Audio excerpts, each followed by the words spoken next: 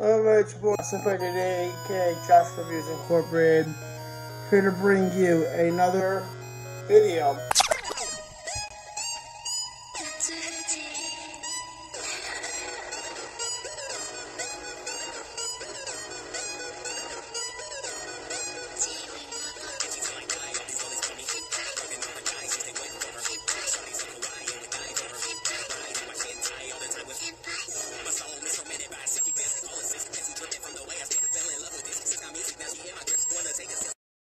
My top 15 favorite yandere waifus.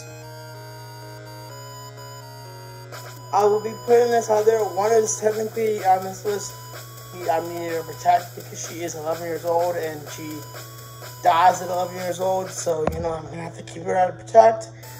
But the fact of the matter is, let's start with number 15, Aya Aishi. If you don't know who that is, that's the girl from the Yandere Simulator game.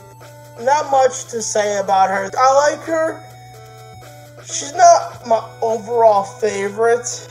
I mean, she's definitely a cutie. The poor senpai in this scenario. I mean, number 14 is Jami Yumiko. And if you don't know who that is, the main character from, or one of the main characters from Kakegurui, Kakegurui or something like that. Which, by the way, is that gambling anime where literally um, everyone in that school, every female in that school, is legitimately fucking like insane. Like a yandere, I'm sorry. Like, you aren't a kuudere or like a tsundere, you're a fucking yandere at that school. And every single girl at that school, for some reason or another, seems to get off on gambling. Like, it's a sexual thrill for them. I mean, like, listen, guys, I know gambling is fun and all, but it, who the fuck gets off on it, right? Everyone in that school is fucking crazy. That's all I gotta say. Uh, the reason why I like her, uh, I mean, she's pretty cute. Um, not to mention, like, she has, I think, the craziest the face when she is getting, I guess, turned on while gambling, and pretty infectious personality, I gotta say. I don't really grow tired of her when she's on screen as much as I grow tired of the other characters. Number 13 is uh, Mariko is the one that is protected. Is Mariko Kawazawa from Elfen Lied. She is, is the director's daughter. She is a Diclonius, which if you don't know, it's the main species or the alternate species of humans in the Elfen Lied series. The reason and her obsession is around really about her family and her father, since she never knew her father. Um, the reason I say that if she would have grown up further in the series, I mean, she dies at 11 years old in the series. She, she dies in a pretty tragic way, in fact. I mean, she has a tragic life. The life that she has been used to, which is being trapped in in this one room for her entire life in a isolation chamber. I mean, Jesus, right? I mean, yeah, so I felt bad for her. So if she grew up to like maybe 18, 19, yeah, I could see myself, you know, dating her, even though that could probably end up me dying in some process. I don't know. Let's, let's keep getting on to the Megumi Shimizu from Shiki. Now, not only, so we have a couple double threats in this list. I mean by that, uh, besides being a yandere, they either are supernatural in, in some aspects, or they have powers such as such as Mariko Kawazawa, the Clonius, in which she has vectors and all that type of stuff, good stuff. And Megumi Shimizu is a vampire, or Shiki, is they're called. The reason why I like her is really just her infectious personality. Um, how far she's willing to go to get the guy she loves. And really, that's it. Next one is Misa Amane from uh, Death Note. All I gotta say about Misa is, yo, I feel bad for her. I really do. I mean, why don't you go after light? I mean, I know the guy's like good looking and all, but like he, he's an asshole. I mean, a fucking douche. I'm just gonna say that right now. If I was in the anime Death Note, I'd probably be like, yo, me, so why the fuck you with him though? But I mean, this girl literally says, I'll do anything for you. Number 10 is General Esdeath from Akame ga Kill. General Esdeath is what I go around saying, overall, bodacious babe. Big titties, great personality, sadistic when she wants to be, very cutesy when she wants to be, and very, very scary when she wants to be. I could give you a bunch of times that she was scary, but I think my favorite time was when the main character, I forgot his name, first night together, she literally says, You're sleeping with me in this room. Because she's the obsessed with the main character. And if you try to leave, I'm gonna kill you. Maria, she is sleeping naked, and this is um, the first time he's ever technically meeting her. Number nine is Takami Mizuki. I don't remember where that one was from. I, I'm sorry. what can I say about Takami is that she's really cute. I liked her a lot, and that's why she's on this list. Number eight is Haruna Niekawa from Durarara, which, by the way, love Durarara. I love anime characters with red eyes, uh, genres with red eyes. They really, like, you know, drive it all home for me. Number seven is Anna Nishinomiya from Sh- Shimoneta or Shimoneta, uh, what's, how does it go? Shimoneta in a world in, in, a, in a world where concepts of dirty jerks don't, does not exist. Anna is one of the anime genres that I kind of like for one reason is because she's not overly based on killing. What I can definitely say is that she's more obsession based and more lust based. Number six is Rika Aju from Good Luck Niminokum. Again, this is one of those triple threats. She, not only is she a leader of a powerful, uh, heiress a powerful company, uh, she's a yandere, and she's a succubus. So you got a three, you got three, you got three triple threat right there. Fuck. Um, what do I like about her? She is cla- classically funny up until the parts where you actually find her, see her yandere self which, by the way, her yandere itself was terrifying. Um, not only did she try to kill the friends that she's made, she also plans to kill the main character, who she's in love with, and and she also kidnaps him and forcibly tries to rape him. Her character arc is kind of funny.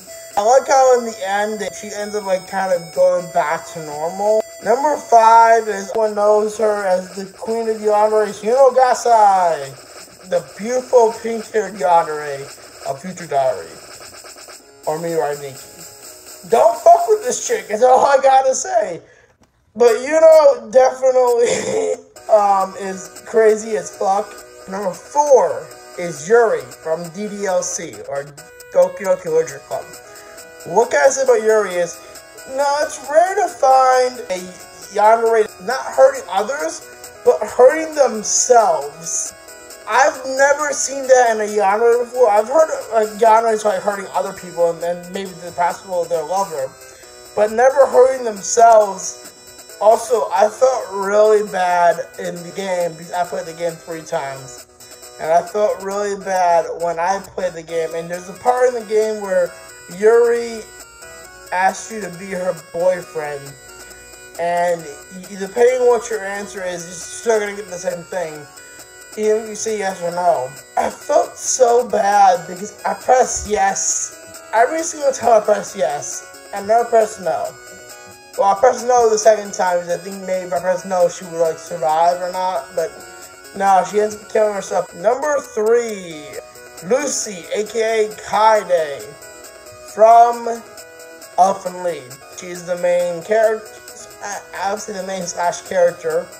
Um, she is definitely not person to fuck with. She's the queen of the Dicloniuses. In the manga, she has 23 vectors with a range of 2 meters. In the anime, she has like four vectors with a range of like two meters. So, number three obviously is one of my heart. I would definitely love to have kids with her.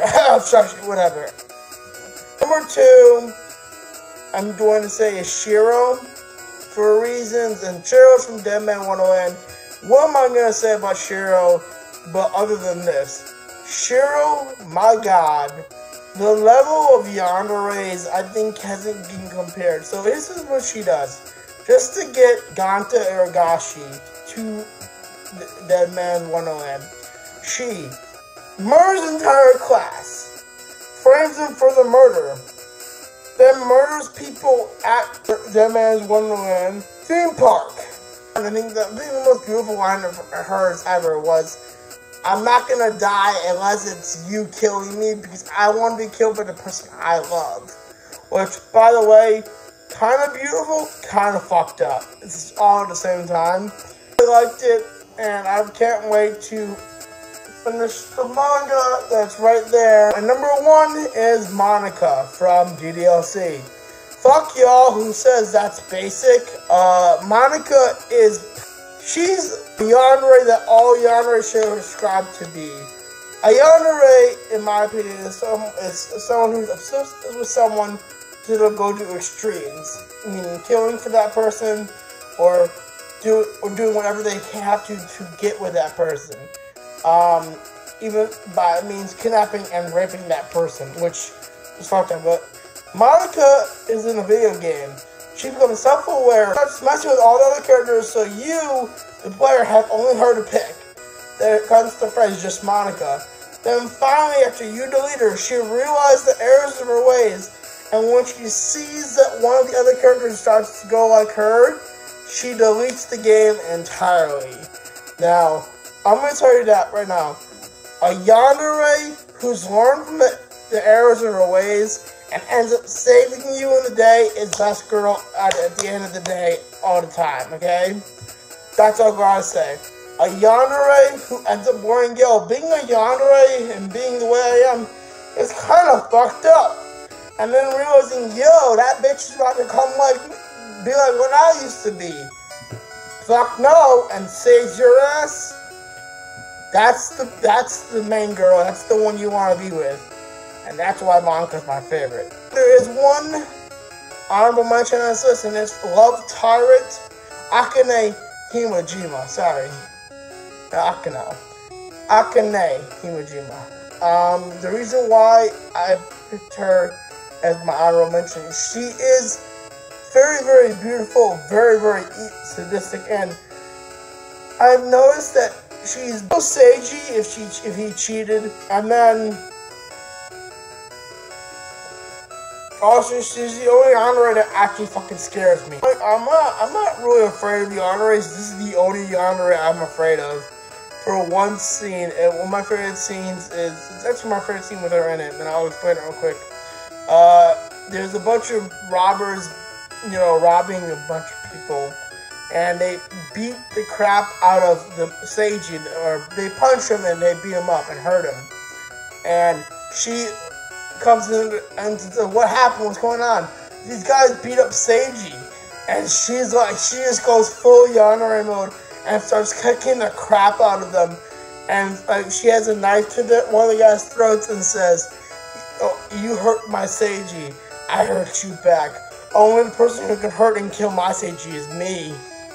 I'm like, damn, yeah, I don't fuck with that bitch, no. But that's why Akane is definitely an honorable mention. She just couldn't make it to the list because, I, other than that, I don't really see any redeeming factors in her. I mean, I do like her. It just, I mean, she scares me too much. That's all I gotta say. And she scares me too much that I probably wouldn't approach her.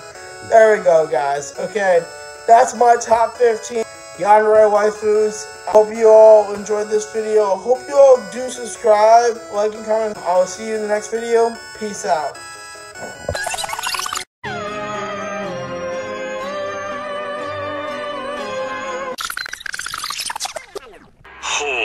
向かってくるのか逃げずにこのディオに近づいてくるのか近づかなきゃてめえをぶちのめせないんでなほ ほ ほう。では十分近づくがよい。